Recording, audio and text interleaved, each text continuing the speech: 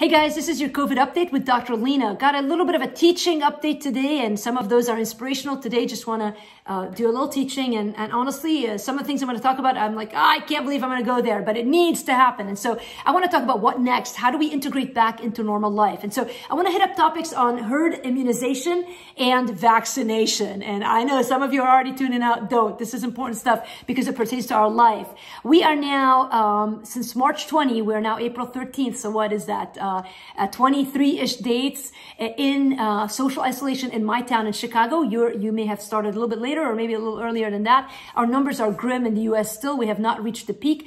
Uh, today's data, 586,000 coronavirus cases in the U.S. with 23,600 deaths. So still um, not uh, great, and uh, but better than expected. Better than expected. And so how how do we move to the next phase? When will this end? Everybody wants to know that. When do we go back to normal? When is it safe to get out of the house? And is this our state of life forever? And uh, by by God, no. And I, I say this uh, rever reverently.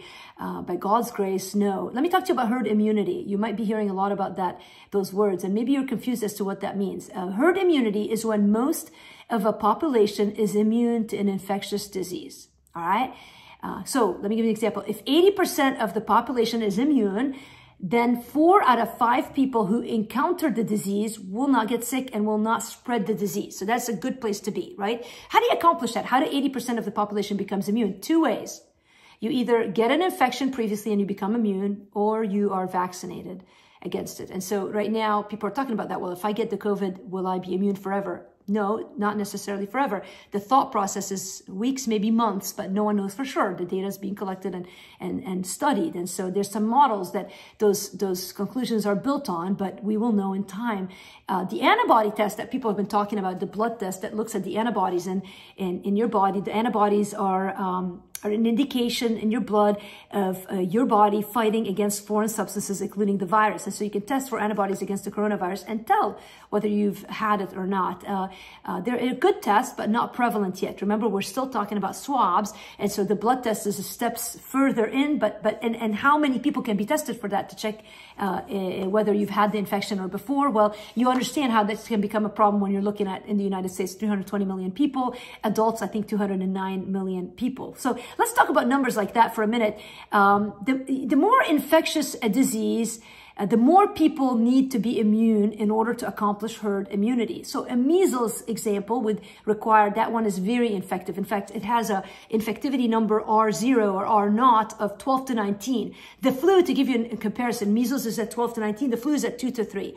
Coronavirus, the numbers, I mean, a couple things, at one point they thought it was like 5.7. I think right now most people would settle at 2 to 3, which would mean that you would need 70% herd immunity uh, for the population to be immune. So again, what does that translate into? In the United States, we've got about 209 million adults.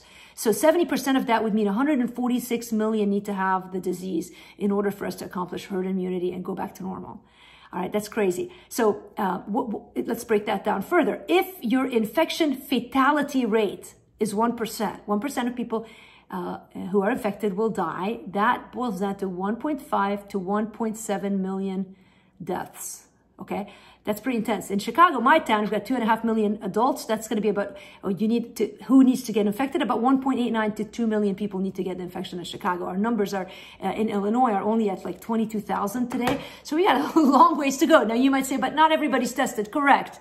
And so really hard to be able to come to decent conclusions as to how many people actually have this. This is why everyone is always saying the testing is the problem. If you, but, but how do you test everybody in the U.S.? Again, challenges.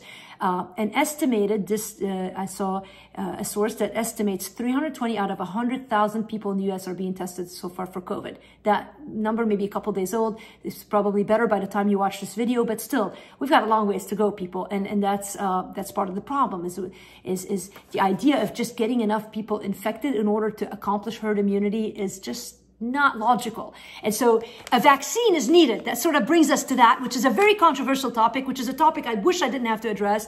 Um, uh, most people in the U.S. are vaccinated, but those who are not are very loudly against it. And uh, uh, my point in the next few minutes is not to rile up the anti-vaxxers. God bless you. You have been sustained by the vaccinations of many. Why do I say this? Well, let me give you some numbers. At the turn of the 20th century, one out of six kids died before age five due to infectious diseases. All right. In the last century, 300 million lives saved because of vaccines. Um, smallpox eradicated polio eradicated in the our side, in the Western Americas gone. Uh, 93 to 99% reduction in chickenpox, measles, mumps, rubella, rotavirus, pneumococcus, H flu, pertussis, tetanus, and diphtheria. Um, I remember in my residency in the late 90s, uh, regularly doing spinal taps on kids with fever to look for the pneumococcus and the H flu. And the H flu less so by the time I came around, but the pneumococcus. And now barely existent. Why? Because of the vaccines. And so, so before you give me a list of why vaccines are evil, uh, read the numbers, people. Talk to your pediatricians, get the data. It is stunning how much our lives are better because of the vaccines. And if you're not convinced, look at the last 30 days of us locked up in our homes. And primarily because we do not have a vaccine for the coronavirus.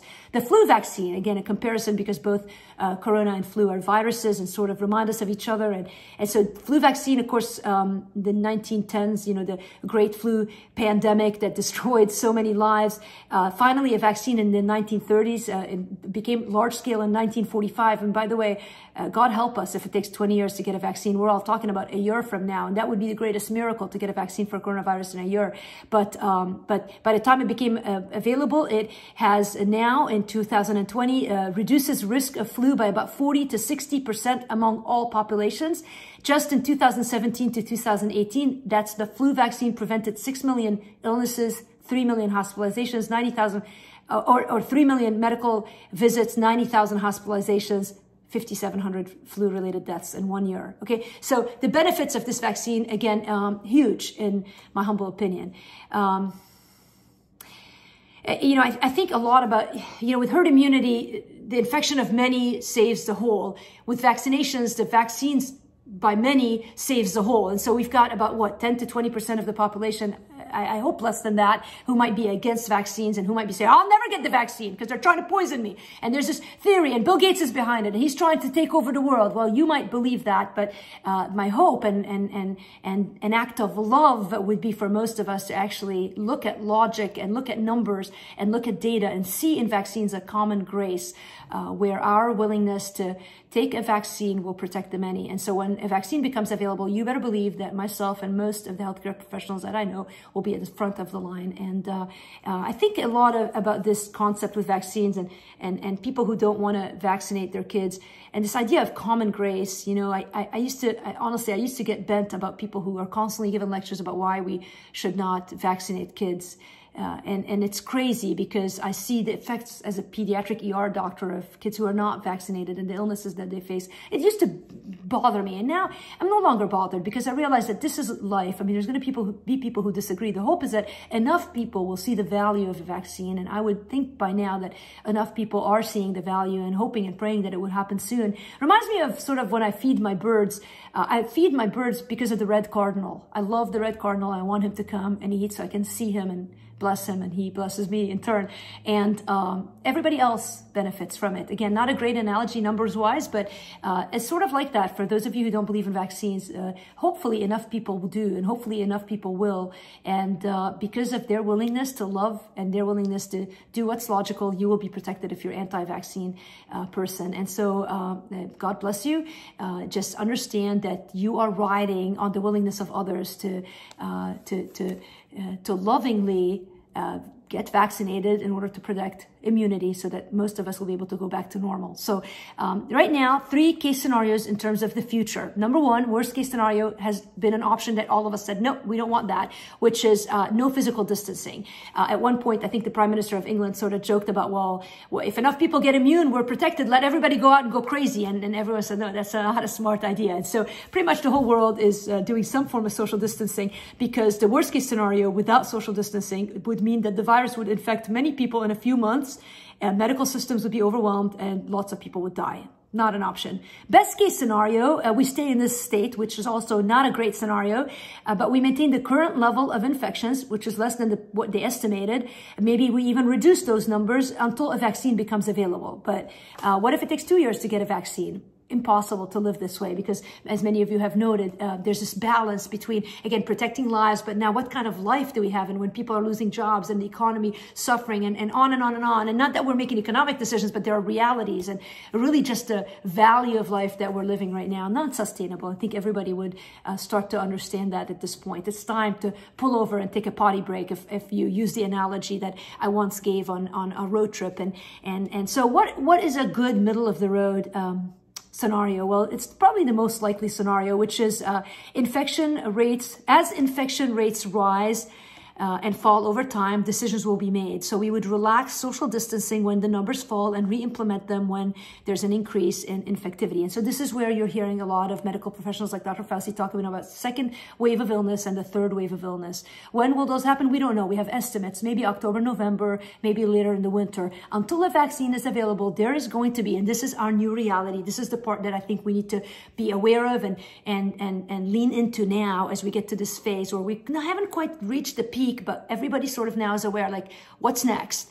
And as we consider that and integrate um, certain jobs that go back to work and, and think through now, what do we do moving forward? My, my nephew, 15, 16, uh, plays football, sent me a text today. What will happen with football season in the fall? Are, are we going to be able to play? And, and his brother just got a scholarship to go to college and play football and so many dreams and so close to home besides the, you know, the loss of life due to COVID, the reality of what do we do now? And, and, uh, I had to text him back and say, honestly, I don't see a world until a vaccine is had where you can have 50,000 people in a stadium to watch a football game, uh, let alone even in high schools where there's hordes of people to watch a game. Will we go back to normal? Um, maybe not normal, but maybe more normal than what we're doing now. And so our job is to uh, lean into those decisions and see, and hopefully with some of the data that I went over today, I know this is a little bit more technical than some of the other COVID updates that I've had. I thought of doing this in a live Q&A. I might do a follow-up Q&A, but just a lot of controversy over vaccines and a lot of emotions that I'd rather not deal with in a live situation, to be honest with you. With you.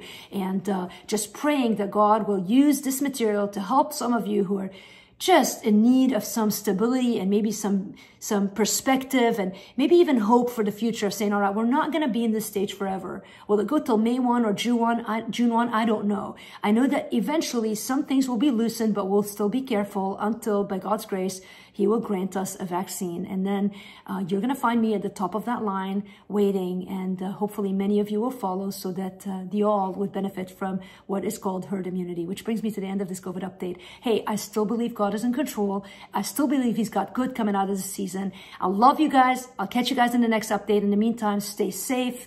Uh, do what you need to do. Keep looking up. Uh, it's gonna get better. We're gonna get through this. I love you guys.